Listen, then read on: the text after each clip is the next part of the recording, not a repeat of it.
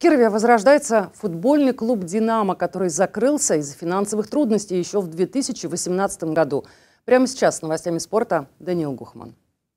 Пока у кировского факела происходят изменения в календаре, у любителей футбола есть возможность насладиться матчами возрожденного «Динамо Вектор».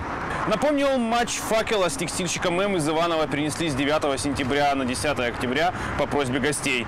Ну а в это время кировский футбольный болельщик мог насладиться матчем заново сформированной и созданной команды «Динамо Вектор» против кировского «Прогресса». Конечно, матч сложился не в пользу игроков «Динамо Вектор», но все же был очень захватывающим и с большим количеством голов. А также все любители футбола смогли увидеть два крепких коллектива и лучших игроков области в их составе. Нам удалось пообщаться с руководителем «Динамо Вектор» Виктором Савиных.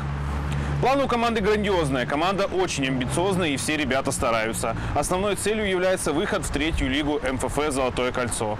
Следующий матч «Динамо Вектор» проведет в ближайшее время. Мы будем следить за развитием событий.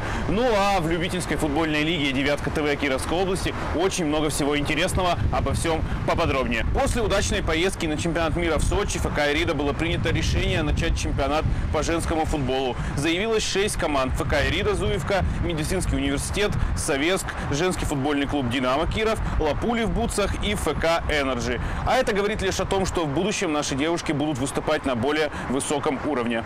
Нам удалось пообщаться с тренером ФК «Рида» Виктором Аникеевым.